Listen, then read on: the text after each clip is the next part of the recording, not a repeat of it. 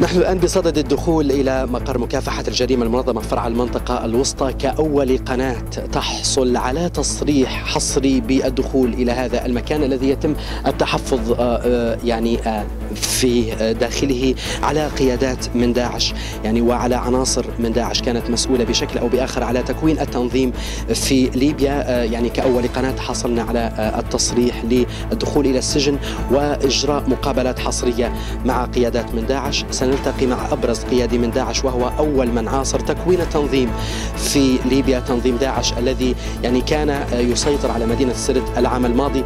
هناك الكثير من الأسرار والكثير من ما يمكن الحديث يعني حوله يعني بين ثنايا ذاكرة هذا القيادي الذي سنلتقي العديد لنكشف عنه في هذه المقابلة الحصرية التي سنجريها بعد قليل يعني حصريا لقناة أخبار الآن.